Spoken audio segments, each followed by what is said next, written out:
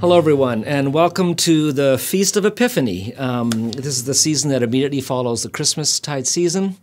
And once again, I have a song um, about the season that I've written with Malcolm Guite. And once again, I have him in the studio to introduce it. So uh, he'll introduce the song and I'll sing it. Uh, this is for the journey this week, and my name is Steve Bell.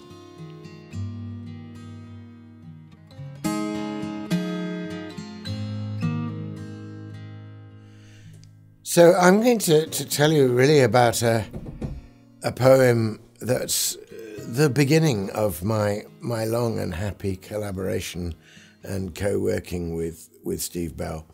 Uh, it's Epiphany on the Jordan, which he made into a wonderful song. I was writing a series of poems for the Sundays of Epiphany, and in the readings in the Church of England for the Sundays of Epiphany, what they pick is just those readings that give you an epiphany. That is to say, an opening up, a glimpse, a moment when suddenly the veil is moved and you really get to see who Jesus is.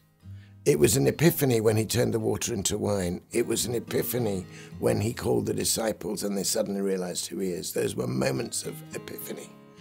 And um, perhaps the quintessential moment of epiphany in all the gospel narratives is the moment of Jesus' baptism when suddenly it's revealed. We hear, and it's a, not only a revelation of Jesus, of course, but of the whole Holy Trinity, because suddenly we hear the Father speaking, This is my beloved in whom I delight. We see the Son giving praise to the Father, and then we see the Spirit descending like a dove.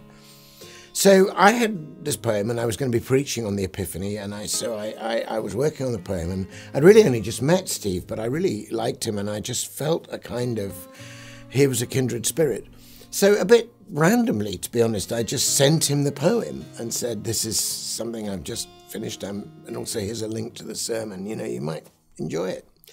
And um, turned out Steve was on a writing retreat and was a bit stuck, and really shouldn't have been answering his phone, but I guess he, his phone pinged and my poem came through, and uh, it worked for him, and he did a really remarkable thing. Again, he exercises great freedom. He doesn't start where I start. He moves around. He sees where in the sonnet is the key line. He brings that out in different ways. He's making a new thing. He's not slavishly following the old. But the new thing is beautiful.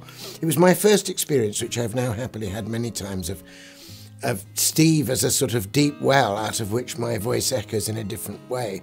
The poet Seamus Heaney, talking about wells, he says, Others had echoes and gave you back your own voice with a clean new music in it.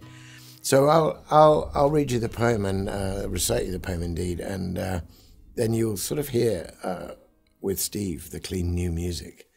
Um, so Epiphany on the Jordan. Beginning here, we glimpse the three in one. The river runs, the clouds are torn apart. The Father speaks, the Spirit and the Son reveal to us the single loving heart that beats behind the being of all things and calls and keeps and kindles us to light. The dove descends, the Spirit soars and sings, You are beloved, you are my delight. In that quick light and life, as water spills and streams around the man like quickening rain. The voice that made the universe reveals the God in man who makes it new again. He calls us too to step into that river, to die and rise and live and love forever. Now it's over to Steve. He just sent me this back. Like I hadn't, it was not long after I sent this to him that I received a, a message with a recording. I couldn't believe it. There was my poem, born to a kind of new life.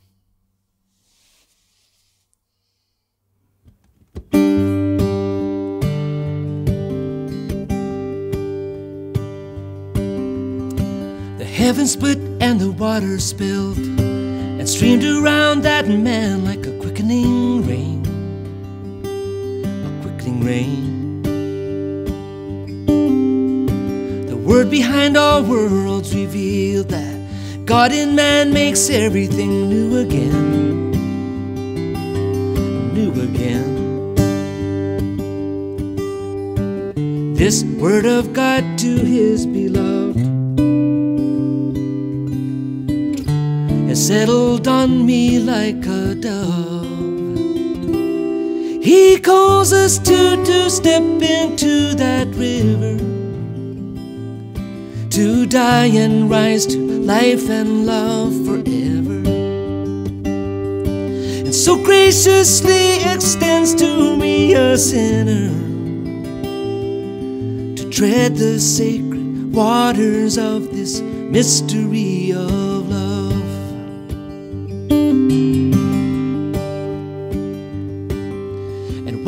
said about a mystery except to say that the last word can never be said? Never said. Best leave that to poetry, kindling words for quickening the dead, the living dead. Pure single heart behind all other by the Spirit sings. He calls us to, to step into that river to die and rise to life and love forever. And so graciously extends to me a sinner to tread the sacred waters of this mystery of love. He calls us to, to step into that river to die and rise to life and love forever And so graciously extends to me a sinner to tread the sacred waters of this mystery of